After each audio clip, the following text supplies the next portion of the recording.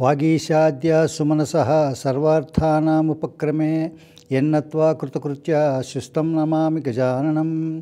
गणानां त्वा गणपतिगं हवामहे कविं कवीनाम् उपवश्रवस्तमं ज्येष्ठराजं ब्रह्मणां ब्रह्मणस्पत आनशृण्वन्नोतिभिस्सीदसाधनम् ॐ श्रीमहागणाधिपतये नमः। हरिः ॐ श्रीरामचन्द्रः आश्रितपारिजातः। समस्तकल्याणगुणाभिरामः। सीतामुखाम्भोरुह चञ्चरीकः निरन्तरं मङ्गलमातनोतु। చంచరీక తెలుగు వన్ ప్రేక్షకులకు నమస్కారం. గత జన్మ ఈ జన్మ పాప వినాశనం కోసం మీకు పాప వినాశనం అవ్వాలంటే అతి సులభమైనటువంటి మార్గము భగవద్గీత పారాయణ. ఈ భగవద్గీత పారాయణ చేసినట్టయితే కృష్ణుడు చెప్పాడు భగవద్గీత పద్దెనిమిదో అధ్యాయంలో ఎవరైతే ఈ భగవద్గీతని రోజుకు ఒక సరుకు చొప్పున పఠిస్తూ ఉంటారో దాన్ని నేను జ్ఞానయజ్ఞంగా స్వీకరిస్తాను అని. మనం జ్ఞానయజ్ఞం చేయలేము భగవద్గీత పారాయణ చేయడం రోజుకు ఒక సర్గ చొప్పున అత్యంత సులభమైనది. భగవద్గీతలో ఒక సర్గ తక్కువలో తక్కువ ఇరవై శ్లోకాలు. పన్నెండో అధ్యాయము పదిహేనో అధ్యాయము భక్తి యోగము పురుషోత్తమ ప్రాప్తి యోగము. ఈ రెండు యోగములు ఇరవై శ్లోకాలే. అన్నింటిలోకి పెద్ద సర్గ అయినటువంటిది పద్దెనిమిదో సర్గ డెబ్భై ఎనిమిది శ్లోకాలు. రెండవది రెండవ సర్గ సాంఖ్యయోగము డెబ్భై రెండు శ్లోకాలు మాత్రమే. మొత్తం భగవద్గీత అంతా చదివేస్తానంటే ఏడు వందల శ్లోకాలు. ఒకటి రెండు శ్లోకాలు అటు ఇటుగా ఉంటాయి బుక్ను బట్టి తప్పులేదు రెండున్న ఎక్కువ ఉన్నా తక్కువ ఉన్నా పర్వాలేదు. ఏడు వందల శ్లోకాలు చాలు. ఏడు వందల శ్లోకాలు చదవడానికి ఏకాదశి నాడు ఏ ఏకాదశి నాడైనా సరే ఉపవాసం ఉండి ఈ భగవద్గీత పారాయణ కానీ విష్ణు సహస్రనామ స్తోత్రం కానీ చేసినట్టయితే మీరు చేసినటువంటి సర్వ పాపాలు తొలగిపోతాయి. అయితే ఒక స ఒక ఏకాదశి మాత్రమే చేసి నాకు తొలగిపోలేదు అండి. ఒక్క ఏకాదశితో పోవమ్మా మనం చేసిన పాపాలు ఎన్నో మనకు తెలియదు ఎన్నో ఉంటాయి. మనకి పాపం అని తెలియకుండా చేస్తూ ఉంటాం. ఈ కలియుగంలో అయితే నాతో సహా అందరూ పాపాత్ములే పుణ్యాత్ములు ఎవరు లేరమ్మా. మనం అందరం పాపం చేయకుండా లేము.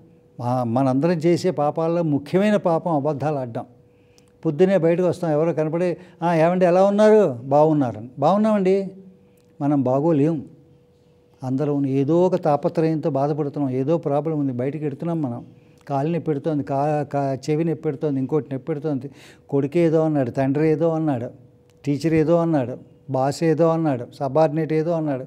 అన్నీ ఉన్నప్పటికీ మనం వీఆర్ ఫైన్ బాగున్నామండి అంటాం. అక్కడే మొదలైపోయింది మీ అబద్ధం. అబద్ధాలు చెప్తూనే బతుకుతాం. పొద్దున లేచినప్పటి నుంచి పడుకునే దాకా అబద్ధం అబద్ధం అబద్ధం. తండ్రి కొడుక్కి అబద్ధం చెప్తున్నాడు కొడుకు తండ్రికి అబద్ధం చెప్తున్నాడు. కూతురు తల్లికి అబద్ధం చెప్తోంది తల్లి కూతురికి అబద్ధం చెప్తోంది. అన్నగారు తమ్ముడికి అబద్ధం చెప్తున్నాడు తమ్ముడు అన్నగారికి అబద్ధం చెప్తున్నాడు. గురువుగారు అబద్ధం చెప్తున్నాడు శిష్యుడు అబద్ధం చెప్తున్నాడు. అంచేత మనం అందరం పాపులం. దీనికోసం అని చెప్పి మీరు భగవద్గీత పారాయణాన్ని కనుక రోజు చేస్తున్నట్టయితే తగ్గిపోతుంది. ఏం చెప్పాడు? భ- భగవద్గీత పారాయణ మహత్యం వరాహపురాణంలో ఉంది. అందులో చెప్తాడు మహాపాపాది పాప అని క్వచిత్ స్పర్శం న కుర్వంతి నళిని దళమంబస అని. మహాపాపాది పాపాని గీతాభ్యాసం కరోతి చేత్ క్వచిత్ స్పర్శం న కుర్వంతి నళిని దళమంబస మహాపాపములు మహాపాపం కంటే మహాపాపం మహాపాపాది పాపానే. గీతాభ్యాసం కరోతి చేతి గీతాభ్యాసాన్ని గీతను పారాయణం రోజు చేయడం వల్ల క్వచిత్ స్పర్శంన కుర్వంతి కనీసం మన అంటుకోవుట. ఎలా అంటుకోవు? నళినీదళమంబస తామరాకు మీద పడినటువంటి నీరు ఎలా అంటుకోదో అలా మనకి పాపాలు అంటవు. భగవద్గీత పారాయణం చేసినట్టయితే. భగవద్గీత పారాయణం అనేది ఎంతో శక్తివంతమైనది. ఎందుకని అంత శక్తి వచ్చింది? వేదాలు ఉన్నాయి స్మృతులు ఉన్నాయి మనుధర్మశాస్త్రము పై నాలుగు వేదాలు కలిపి వీటిలంతటి సారము తీసి వ్యాస మహర్షి ఇరవై నాలుగు వేల శ్లోకాలతో అనుశాసనిక పర్వాన్ని తయారు చేశారు రచించారు ఆయన. ఇరవై నాలుగు వేల శ్లోకాల సారాన్ని తీసుకుని ఏడు వందల శ్లోకాల్లో భగవద్గీతని పా రచించారు. ఏడు వందల శ్లోకాల్లో ముందు నలభై ఏడు శ్లోకాలు అర్జున విషాదం. ఈ మొత్తం దీని యొక్క సారాన్ని అంతటినీ రెండో అధ్యాయం సాంఖ్యయోగంలో మ, చొప్పించారు వ్యాస మహర్షి. రే సాంఖ్యయోగం ఎంత కంప్రెస్డ్ కుదించి పెట్టిందంటే ఆ సాంఖ్యయోగం చెప్పాక అర్జునుడు అర్జునుడు ఎంతో కాన్సన్ట్రేషన్ ఉన్నవాడు. ఎంతో చదువుకున్నవాడు. ఆయన అన్నాడు జాయసీ చేత్ కర్మణస్తే మతాబుద్ధిర్ జనార్దన తత్కిం కర్మణి ఘోరే మాం నియోజయసి గో కేశవ వ్యామి శ్రేణేవ వాక్యేన బుద్ధిమోహయ సేవమే తదేకం వద నిశ్చిత్య ఏన శ్రేయోహమాప్నుయాం. వ్యామి శ్రేణేవ వాక్యాన కన్ఫ్యూజింగ్ సెంటెన్సెస్ నన్ను బాగా కన్ఫ్యూజ్ చేసేసావు. ఈ సరుకు చెప్పి నాకేం అర్థం కాలేదు. ఈ అధ్యాయం చెప్పి నాకేం అర్థం కాలేదు. నాకు ఏది మంచిదో నిశ్చితంగా ఒక్కటి చెప్పయ్యా అని అడిగాడు. డెబ్భై రెండు శ్లోకాలు మొదటిసారి విన్న అర్జునుడికి అర్థం కాకపోతే మనకి మొదటిసారి సాంఖ్యయోగం ఎలా అర్థమవుతుంది? మనం సామాన్య మానవులం. అర్జునుడు ఎంత విజ్ఞత లేదు. అర్జునుడు అర్జునుడు శ్రీకృష్ణుడి యొక్క ప్రియ సఖుడు ఆయనకున్న జ్ఞానం మనకు లేదు. ఆయనకే అర్థం కానప్పుడు మనకి ఎలా అర్థమవుతుంది? అందుకని ఆయన మిగిలిన సర్కలన్నీ మిగిలిన అధ్యాయాలన్నీ చెప్పుకుంటూ వచ్చాడు. అంచేత భగవద్గీతను రోజు పారాయణం చేసినట్టయితే కృతజన్మ పాపం ఈ జన్మ పాపం అన్ని జన్మల పాపాలు పోతాయి.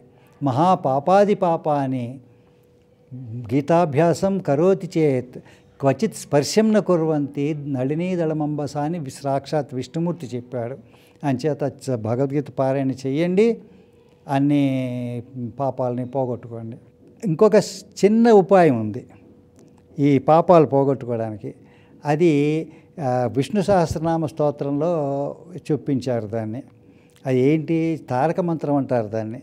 తారకం అంటే రక్షింపజే రక్షించేటటువంటి మంత్రము. తార తార అంటే రక్షించడం తారక రక్షించదగినటువంటి రక్షించేటటువంటి స్వభావం ఉన్నటువంటి మంత్రం.